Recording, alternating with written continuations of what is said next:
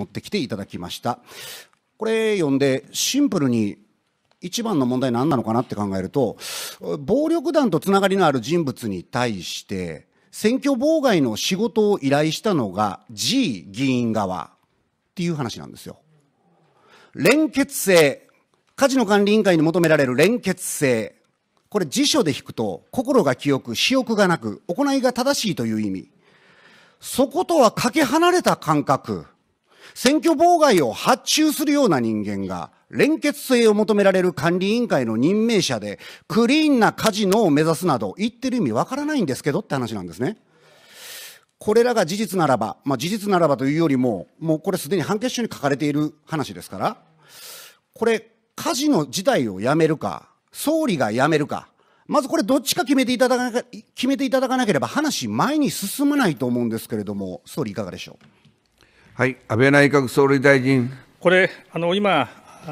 委員が例として挙げられた件でございますが、いずれにせよ、この件はですね、有罪判決が下っているわけでありまして、え被疑者は処罰されたものでありまして、私どもはこれ、被害者でございます。そして、えー資料の4を読んでおられましたが、それはこの、えー有罪判決が下った人物、この下った人物は恐喝をしですね、これは私どもだけではなくて、えーさまざまなそういう、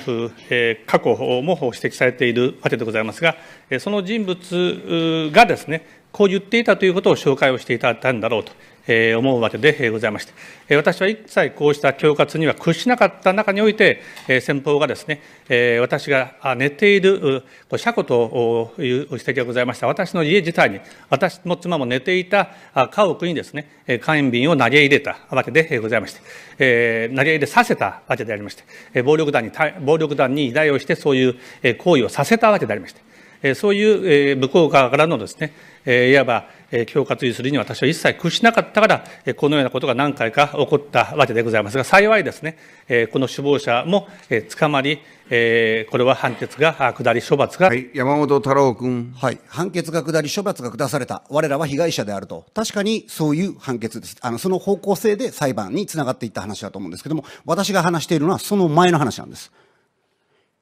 自分たちが応援している陣営、これが有利になるために、相手陣営に対して選挙妨害をするように発注をしたと。その発注したことに対する見返りが少ないじゃないか、約束が違うじゃないかということで、おそらくこの方、犯行に及ばれている、犯行に及んだというような流れになっているんですね。だから、私たちは被害者であるという以前の問題で、暴力団員とつながりのあるような人間に対して、民主主義の根底をひっくり返すような選挙妨害、これを発注するということに対して、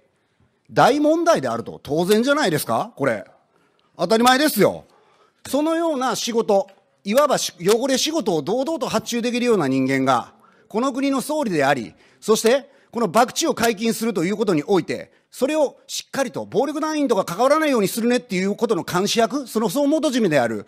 カジノ監視委員会を任命する立場にあるなんて、笑い話でしかないですよ。